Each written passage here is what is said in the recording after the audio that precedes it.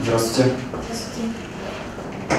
Чтобы собрать ребенка в школу, у родителей осталось не так много времени, всего пара недель. Форма, спортивная одежда, обувь, рюкзак, канцелярия, расходы немалые. К сожалению, не у всех семей есть возможность приобрести новые вещи. Однако в этом случае им помогают участники акции «Помоги пойти учиться». И в этом году к ней присоединились анапские полицейские. В преддверии праздника День знаний а, в отделе МВД России по городу Анапе проходит а, всероссийская акция «Помоги пойти учиться».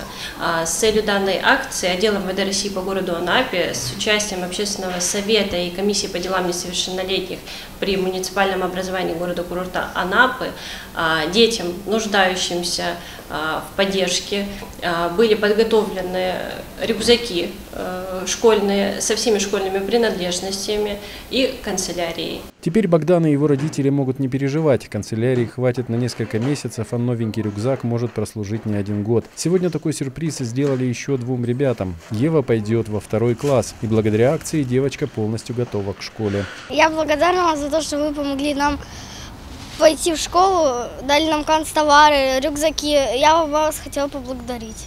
В рамках акции «Помоги пойти учиться» анапские полицейские лично подарили рюкзаки и констовары шести ребятам. Вскоре сотрудники отдела ПДН приедут еще к нескольким семьям. И хоть на первый взгляд это маленькое доброе дело, для каждого ребенка, получившего подарок, оно имеет огромное значение.